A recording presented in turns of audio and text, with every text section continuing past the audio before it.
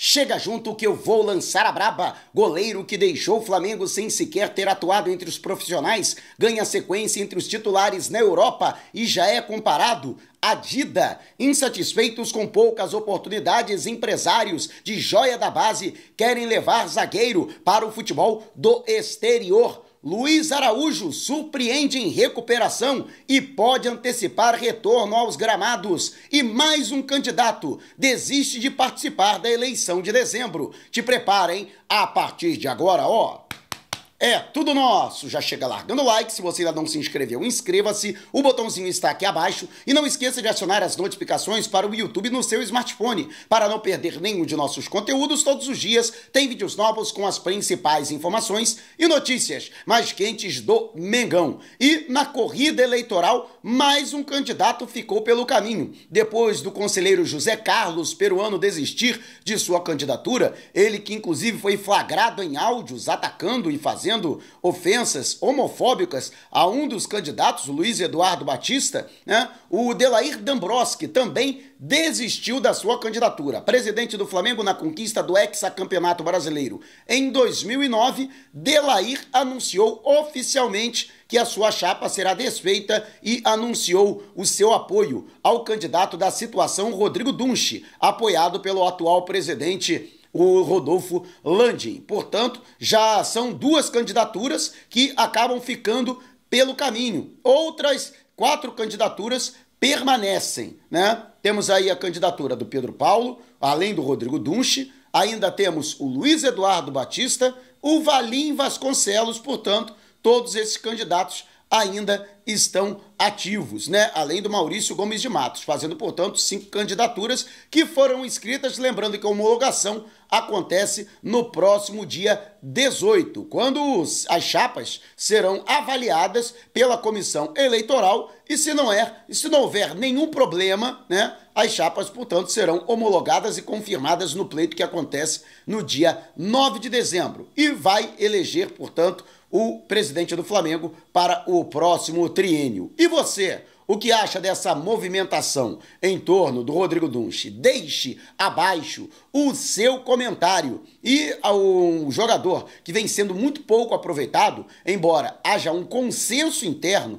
de sua qualidade e que é um talento altamente promissor, é o zagueiro Cleiton, jogador de Canaã, na Bahia, e que desde as categorias de base está no rubro-negro. Ele, apesar de ter começado até com 18 anos, né, a ser aproveitado na categoria profissional, teve muito poucas partidas até agora no time principal. E o seu staff está muito insatisfeito com o seu pouco aproveitamento. Nem mesmo a mudança de ares com a chegada do Felipe Luiz foi suficiente para dar esperanças ao staff do jogador de que ele terá maior rodagem, de que ele terá maior minutagem. Vale destacar que algo que desagradou também os empresários do Cleiton foi que o Flamengo recusou uma proposta do Grupo City, que tentou a contratação do atleta na última janela para transferências internacionais. E já existe um consenso de que haverá uma pressão para que, em caso de uma nova proposta surgindo ou do Grupo City ou de qualquer outro clube do exterior, na próxima janela, que começa em janeiro, haverá uma pressão para que o Flamengo ceda e aceite a proposta e negocie o jogador, já que Cleiton, segundo a avaliação do seu staff, não vem tendo oportunidades e isso pode comprometer o seu desenvolvimento, a sua evolução. E pode acontecer de o atleta jamais conseguir alcançar o seu potencial ele que é apontado como um dos maiores talentos da sua geração para a zaga diária no futebol brasileiro. Eu, particularmente, acho que é um excelente jogador. Há uma escassez de zagueiros canhotos, né? Zagueiros que jogam pelo lado esquerdo, né? E ele é uma excelente alternativa para o Flamengo. Mas acho que tem que ter um pouco de paciência. Afinal de contas, temos aí jogadores que podem futuramente deixar o clube. É o caso do Davi Luiz por exemplo, né? ou até mesmo negociados, como o Fabrício Bruno, que quase deixou o Flamengo na última janela. Então, isso pode suscitar né, o aproveitamento do Cleiton, quem sabe, futuramente, ainda esse ano, nessa reta final de temporada, ou em 2005, por exemplo, durante o Campeonato Carioca. E você, o que acha? Deixe abaixo o seu comentário. E antes de partir para o próximo assunto, lembrar a você o que é portabilidade de energia. Você pode escolher de onde vem a energia que você consome e quanto você quer pagar por ela. As grandes distribuidoras não querem que você saiba desse segredo, porque elas compram energia mais barato de quem produz mas, e para vender mais caro para você. Mas você pode comprar direto da produtora. A iGreen Energy produz energia solar. Você não precisa instalar nada na sua casa e pode ter uma economia imediata de até 15% na sua conta de luz. Quem é obrigado a pagar todo mês, imagine isso ao longo dos anos ou décadas. Olha o que você está deixando de economizar. Então não perca tempo e não vá dar mole. Entre agora em contato com Vitor Almeida, representante autorizado da Green Energy, para saber a disponibilidade do serviço na sua região e obter um orçamento sem compromisso, através do DDD 21 972 996633 ou então no link que está no comentário fixado aqui no vídeo. A Green Energy, energia solar para todos. E o Flamengo, que tem aí um outro jogador também, joia da base, cria do Ninho do Urubu e que foi negociado na última janela de transferências internacionais. Trata-se de Cauã Santos, goleiro que também era considerado muito promissor na base. Ele que acabou estourando a idade, completou 21 anos, foi incorporado de maneira definitiva ao elenco de profissionais que já contava com diversos outros jogadores. Para piorar, outros goleiros também promissores também estavam despontando da base. O caso do Diogo Alves e do próprio Lucão, Lucas Furtado, ambos da categoria sub-20. Com isso, o atleta acabou ficando sem espaço. E, já que ele ia cada vez mais para o rabo da fila, né?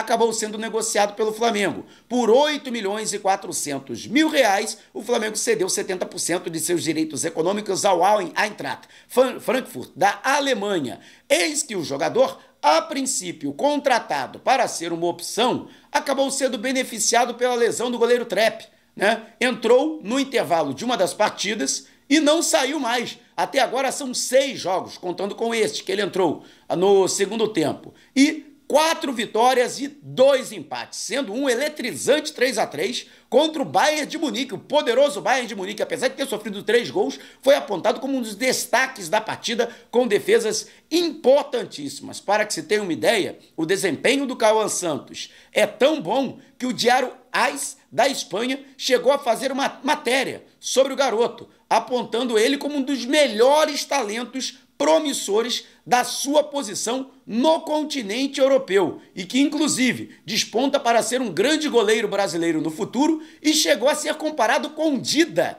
goleiro campeão do mundo, com o clube e também com a seleção brasileira e que disputou diversas Copas do Mundo e chegou a ser apontado né, como o melhor goleiro em atividade no continente europeu, né? Vários goleiros, né, fazendo sucesso na Europa. A gente lembra, por exemplo, do Gabriel Batista, que também se notabilizou no futebol português, e isso é muito bom para o Flamengo.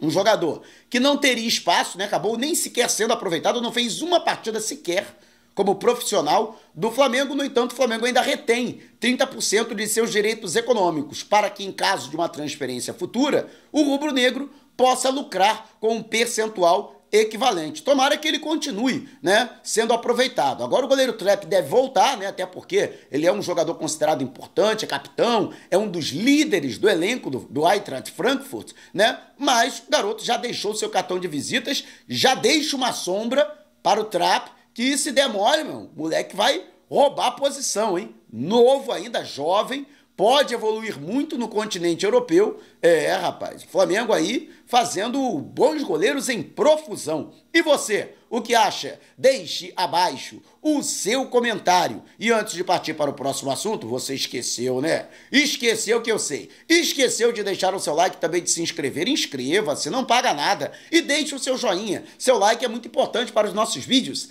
e para o crescimento do canal. E agora também estamos no WhatsApp. Você que não sai do zap para nada que eu sei, tem mais um motivo para não precisar sair. Vá ao comentário fixado, clique no link.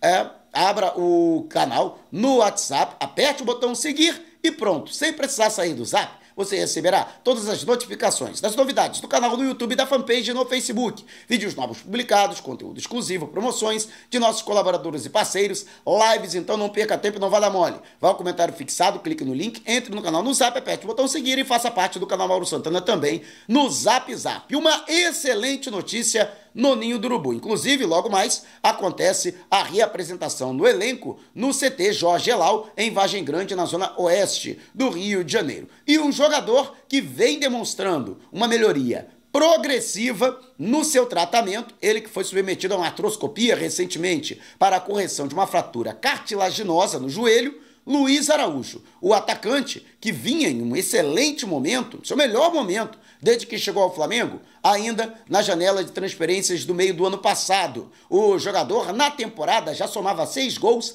e dez assistências, sendo inclusive um dos líderes em assistências na temporada no atual elenco, abreviando aí a sua situação no aproveitamento, na época ainda sob o comando do técnico Tite. Eis que o jogador a princípio, só voltaria em novembro, mas ele pode antecipar para ainda este mês o seu retorno aos gramados. Se tudo der certo, ele, que já deve, nesta semana, iniciar o trabalho de transição para o campo, ainda acompanhado pela fisioterapia, poderá ficar à disposição para o jogo adiado contra o Internacional no Beira-Rio, em Porto Alegre, marcado pela CBF para o dia 30. Jogo ainda pela 17ª rodada do Brasileirão, no primeiro turno, que as duas equipes estão devendo por conta dos impactos provocados pelo desastre no Rio Grande do Sul. Com isso, portanto, Luiz Araújo pode finalmente ficar à disposição do novo treinador Felipe Luiz e ser mais uma opção para a composição